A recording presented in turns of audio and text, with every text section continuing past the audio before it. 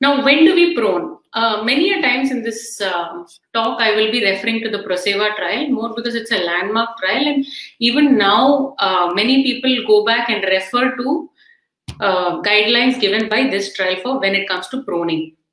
It was published in 2013 in NEJM. If any of you want to go back and take a look at it. So, according to the ProSeva trial, uh, a patient can be considered for proning if they have a PF ratio of less than 150 on a PEEP of 5 or with an FiO2 of more than 60%. However, this is not a hard and fast rule.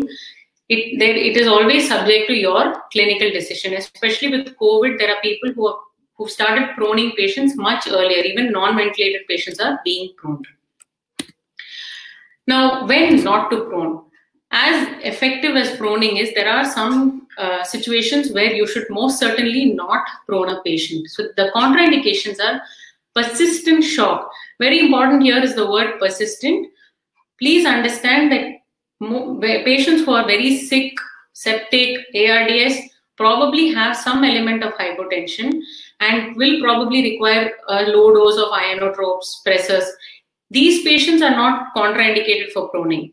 Those who have persistent shock in spite of optimizing their fluid, in, in spite, I mean, those who have increasing requirements of pressors, difficulty to maintain a map more than 65, such are the patients that you will not consider for proning. Patients who have acute bleeding, massive hemoptysis, ongoing blood loss, hemorrhagic shock, now, proning is basically making a patient lie on their stomach for prolonged periods of time. The average time that is recommended is anywhere between 12 to 18 hours. So, obviously, if a patient has an open wound anywhere in the ventral surface of the body, severe burns on the ventral surface of the body, then proning is not advised. Patients who have raised intracranial pressures, because proning in itself is found to be counterproductive for patients who have raised ICP.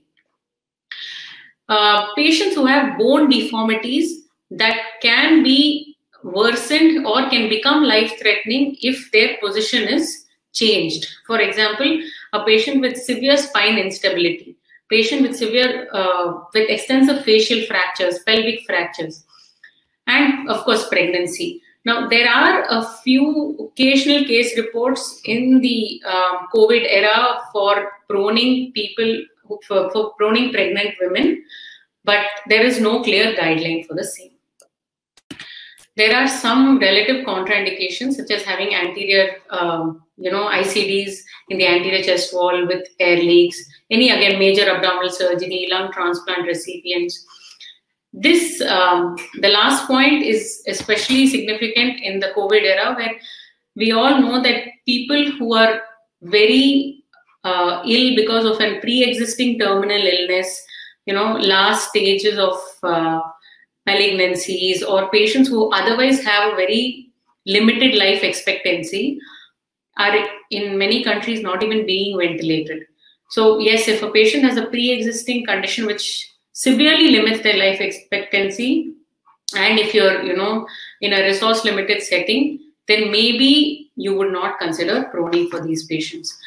Um, according to the ProSeva trial, they did not prone patients who had any DVT in the past 48 hours. But in the COVID era, we are not following this. I've seen patients, uh, I've, I've seen data of patients being prone, irrespective of DVT, even with patients who had minor PE have been prone. So, like I told you, prone ventilation is not contraindicated in any patient with shock. It's only if the requirement of vasopressors is persistently going up or you're unable to maintain a MAP of more than 65. Renal replacement therapy is again not a contraindication uh, as, as long as it's not a peritoneal dialysis. In fact, many a times when we know or we anticipate proning, we have central lines either through the IJV, subclavian, or the femoral and this is perfectly fine. Many of the COVID patients, uh, in fact, the many patients who get sick with COVID are patients who are CKDs on dialysis. Some of the drug treatments used in COVID cause renal failure and they end up going into dialysis or CRRT. None of this is a contraindication for proning.